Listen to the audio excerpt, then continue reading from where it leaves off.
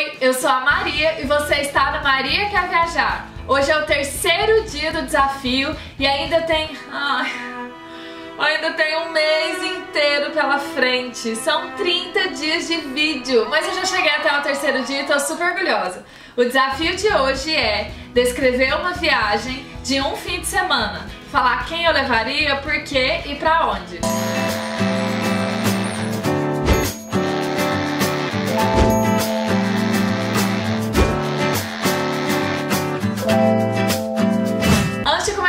Vídeo. Eu queria muito agradecer o apoio de vocês, todos os likes, todos os comentários nos outros vídeos. Teve um resultado super legal e eu tô quase chegando aos 500 inscritos. Então, gente, por favor, me ajuda. Se você não for inscrito do canal, já se inscreve, já deixa seu like e vamos crescer cada vez mais. Vamos chegar na meta hashtag 500 do Maria Quer Viajar. Conhece, eu moro em Dublin, na Irlanda, e nós estamos no outono aqui, então indo pro inverno. Tá muito gelado. Hoje foi um pouquinho mais quentinho, fez 10, 11 graus, mas ultimamente a gente tá ficando ali entre 2, 3 graus, 0 graus e tá muito gelado. Por isso, o local da minha viagem que eu gostaria de ir é um lugar quente, é um lugar com muito sol. Tem mais de um ano que eu não volto para casa, tem mais de um ano que eu não vou pro Brasil. Então, tem mais de um ano que eu não vejo a minha mãe. Que saudade que eu tô da minha mãe, muita, muita saudade.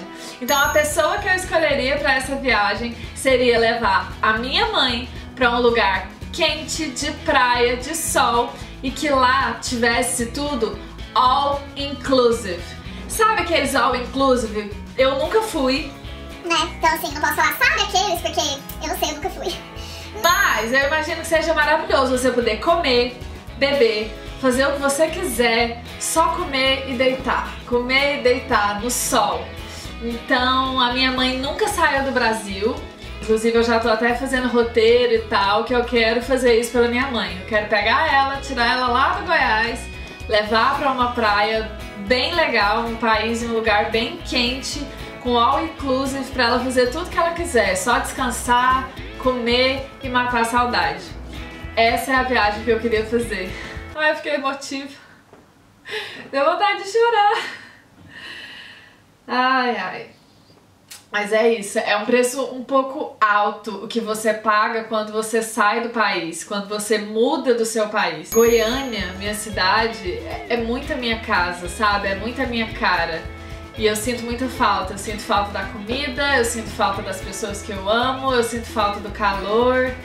E eu não podia descrever uma viagem que não fosse com a minha mãe, um lugar que não fosse quente, completamente contrário do que eu tô passando agora, frio. E, e é isso. Gente, é isso. Muito obrigada a vocês que estão aqui me acompanhando no desafio. O desafio de amanhã tá super legal. Eu já fiz o roteiro, tô super empolgada para gravar. E você, me fala nos comentários para onde você iria por um final de semana, quem você levaria e o que você gostaria de fazer nesse lugar. Eu quero muito saber e quem sabe pegar suas ideias para eu fazer para mim também, tá bom? Um beijo e até o próximo vídeo. Tchau!